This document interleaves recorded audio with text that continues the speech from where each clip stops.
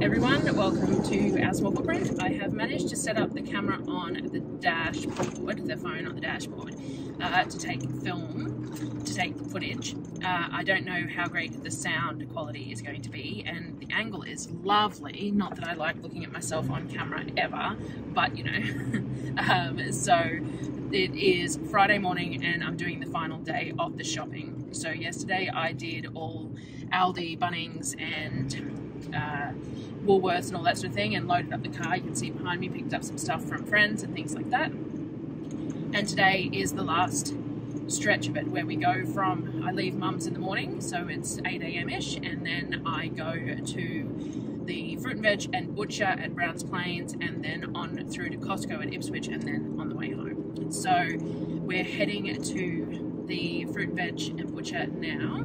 Uh, Mum drives her own car because it's a significant distance from the Costco back to her place, so I'm not going to drop her back. That would be silly. So she drives her own car, follows me along, and drives herself home from Costco. She doesn't have to come along. I can manage it on my own, but she enjoys it, and it's Fridays are her day off, so that's cool. So we're heading to the fruit and veg now. Uh, and then we'll progress on from there. So I just thought rather than trying to do an intro later when it's dark after I have put all the groceries away, if I check in every now and again while I'm driving and heading where I'm going and try and remember to film some Costco maybe or some of the fruit and veg shop or I, I get all the, my trolley full of stuff and I even forget to take photos of it. So I walk out to the car with the trolley and then I start unloading it and I go, darn it, should have taken a photo at least of the trolley, but I forget. So we'll see how we go. It's just a really long day. Like, and because it's been such a process, the same process that I've done for months and months now, that it's like, you know, the process is that you go in, you get your groceries and you uh, take them out and you put them away and you just get moving to the next place. And I tend to just keep doing the process without worrying about uh, what, you know, taking photos or documenting it or anything like that. So I uh, definitely need to get better at that. But it's, you know, it's all work in progress. Having this here means that I can chat to you in the car in between. So if there's anything that I wanted to tell you in between, then that was cool uh, and makes it a little bit more interactive. Though um, when I pull this off the phone, I'll have to see how good the sound is and things like that. And yes, as I said, the angle of the video is stunning, but that's you know half of the course when you're recording yourself and editing yourself on a video. So anyway, heading on to the highway shortly to head out to Browns Plains, and I'll check back in with you as we go to more things.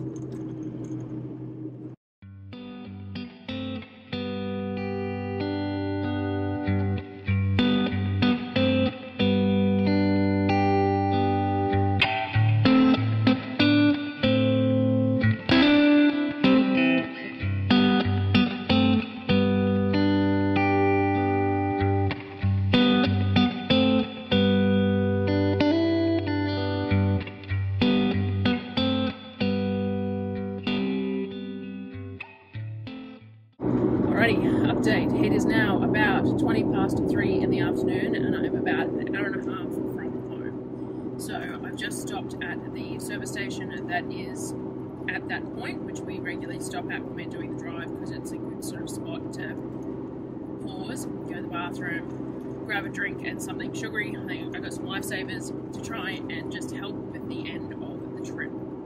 Now, I totally forgot. Sorry, Patty. I was supposed to drop into Patty's place while I was in Brisbane at this trip, and I completely forgot to do it. I was also supposed to go to a friend's place to show her the Thermomix, but also just to visit. And her, she had some sick kids, and then um, I forgot to double check if we were going to change the date, and it didn't end up happening. So I might have to spend an extra day down there next shopping trip and get some stuff done that I keep on missing and getting done uh, it's just such a packed two and a half days that I tend not to be able to get stuff done. So I there's a couple of appointments I need to go to and things like that as well, and I keep on putting them off because I just run out of time while I'm down there. So I might have to do an extra day next trip and make sure that I sort things out at home to be able to compensate for that.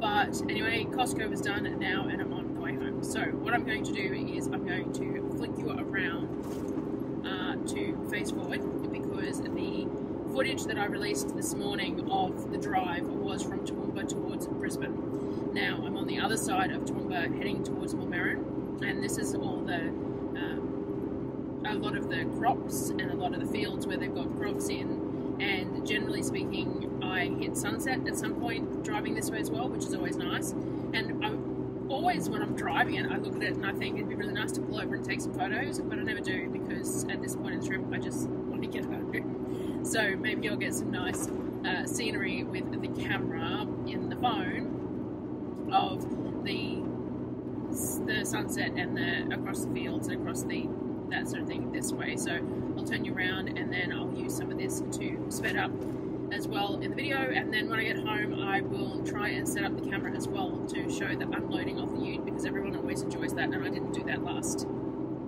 last month, maybe not even the month before uh, because in winter it's dark quite regularly by the time I get to home um, but I'm doing okay for time today so I should be there before 5 and sunset is getting a little bit later now that it's warming up again a little bit. So uh, I should be able to have daylight enough to set up the tripod and the camera to show the havoc that is everyone helping you to unpack the car. And I'm pretty loaded up because uh, a friend got me some more milk crates to use for the uh, chicken pens as well. So they're stuffed in here as well as the you know the cultivator that I bought in the little greenhouses and all that extra sort of stuff on top of the groceries. So uh, it'll be interesting to get it all.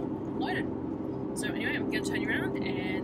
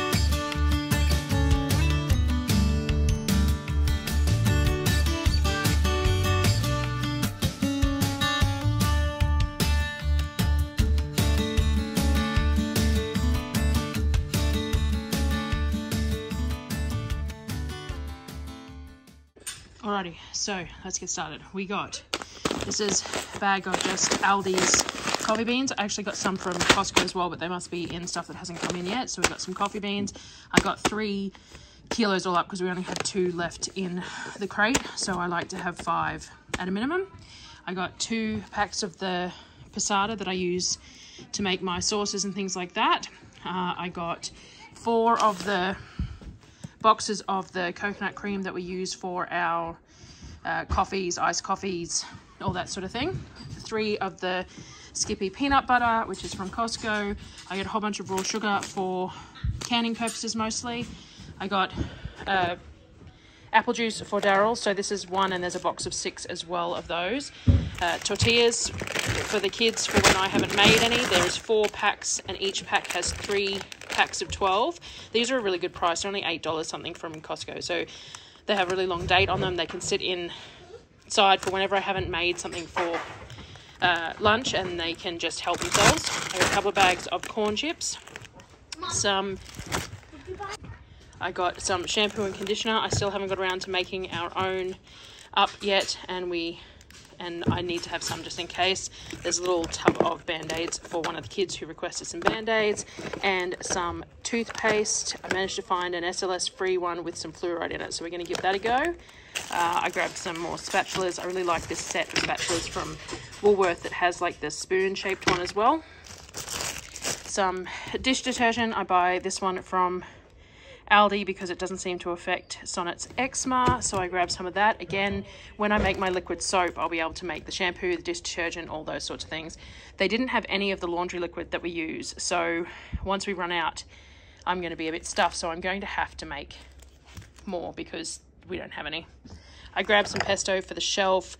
Uh, we like that with the pasta dish, and it's still going to be a couple of months before I get good basil growth, some strawberry jam. I prefer that blueberry jam with the nice jars, but they have no blueberry jam at the moment. So this is cheaper. So I grabbed the strawberry jam, uh, which we have jam on the shelf, but they like to have some store-bought stuff as well. Some tomato paste, some oyster sauce, a couple of bacon seasonings. Again, I really need to figure out a recipe to make this myself, but I haven't yet, so I bought a couple on special. There is a couple of different small packs of spices that I grabbed because I needed them for uh, brining my silver side.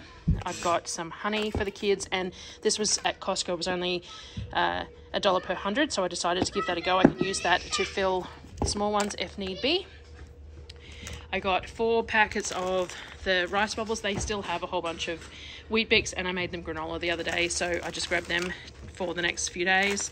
Some rice cakes. There is nine packets of those because we still had a few left. Rice crackers. I got eight of each flavour because again there was some left so this tops up the stock. I got 24 of the rice milk that they like. This rice milk I normally buy from Aldi because it's cheap. It's $1.59 per litre. This month it was $1.99 per litre. So that has gone up considerably, which is unfortunate. Uh, I got some dry spaghetti and some dry macaroni just to bump the stocks up. We still have plenty of spirals in the cupboard, so we just got some extra ones of those. And and I got our usual canned goods. So we're running low on coconut cream. I've been doing a lot of baking, and this is what I use for most of my baking. So I got 24 cans of those, 12 cans of just the crushed tomatoes, and 12 cans of corn. Now I also got a some paper towel. Uh, this is for me actually in summer. My I use it for myself, and the uh, nappy pants are for Orpheus and some wipes as well there. We got two lots of the toilet paper because now that we're going six weekly, we tend to use slightly more than one. And I just don't want to run out. So I grabbed two lots of them from the fruit and veg store. There's more to come, I think, but this is the main stuff. We got a big box of Pink Lady apples. These are gorgeous looking apples. They were 99 cents a kilo. I got a box of bananas and a the potatoes. These were 29 cents a kilo, so I got 20 kilo box of these white potatoes. Also grabbed just some baby red ones from Costco because I really like these for underneath the pork rind when we cook that off. And I got a full box of corn cobs. These were cheap, a lot of rubbish that I'm going to have to deal with. I'd prefer corn in the husk, but this it was cheap. It was worthwhile grabbing. And pineapples, the small pineapples were three for three dollars again, so I grabbed fifteen of those. I also grabbed a box of beans. Now these beans were very cheap and my kids eat them just as snacks. I might pickle some as well, uh, but we'll just eat them roasted for the next week or whatever and till they're gone. A cauliflower, which wasn't too badly priced for a change, a lettuce, some celery, and some broccoli for eating initially. And a couple of other non-food items I got were some clamps. So we're going to try using clamps for the sausage stuffer on the bench. So these ones should work better than the ones that I did got previously. And a this home measuring stud measuring thing was $40 off at Costco. So that might help us with measuring things rather than using a tape measure. I also got a bag of onions because I need to make some more caramelized onion jam. So I got a bag of onions to do that and a bag of baker's flour. So that's this lot. Let me get this put away and reload the table and bring you back for the next bit. Alrighty, second table load. We have a 10 kilo box of clean pork back fat uh, for rendering into lard, and then I got two of the boxes of the frozen chicken thighs that I got last time. Uh, they work out really well valued, and because there's so much effort to use, we tend to use them slower. So I decided to do that. I got some frozen veggies, so just the standards, peas, carrot, corn, the winter veggies there from Aldi, and then these ones, which are my preferred, but are more expensive. So we, depends what we're cooking as to which ones we cook up. So those as well. I got one lot of mince. I still have mince from the quarter of a cow in the freezer, but I grabbed one lot of mince because Normally I do hot dogs for dinner on grocery night, but I didn't get any hot dog rolls, so I'll probably do hamburgers instead. Uh, I got various different bacon. So this one is a diced bacon. It's only $5 a kilo. It's 2 kilos for $10. Diced bacon from the butcher. Then I got some middle bacon from Aldi, which is $9 a kilo, I think. And then the economy bacon, which is only $6 a kilo. So I use it for various things. Uh, like the middle bacon's nice for frying up when you're eating it, like as bacon and eggs or whatever. But the diced bacon's fine for cooking, and the economy bacon's fine for cutting up for cooking as well. So I got two things of chicken breasts. These are both two and a 2.4ish kilos each. And then I got two of the pork roasts that I always grab. These are the $6.99 a kilo rolled pork roast, so I got two of those. I got two uh, packs of ghee, so four litres of ghee, and I got some sultanas for the kids because they have finished that six kilo box that I got in the bulk order. We don't have any frozen fruit at the moment, so I got some frozen fruit and we'll freeze some of those bananas that were in the box. This dragon fruit blend had the dragon fruit, mangoes, strawberries, and peaches, and was only worked out about $9 a kilo. And the three berry blend is the same. So they're the two cheapest per kilo frozen fruits that Costco sells, so that's what I grabbed. I have some cheese here, my pizza cheese that I always stick in the freezer for me to use, and then some slightly fancier cheese for making mac and cheese and things like that for me. I just stick it in the freezer. If it gets used, the six weeks it gets used. If it doesn't, then it can be used the next time.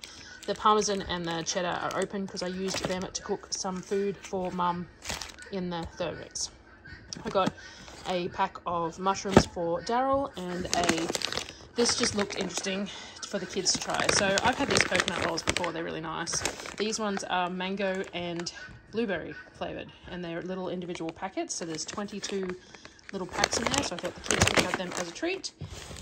I grabbed the two for five or whatever it is at Costco for the English muffins, and that's just breakfast for tomorrow and the next day because I wanted something easy rather than having to worry about baking any bread.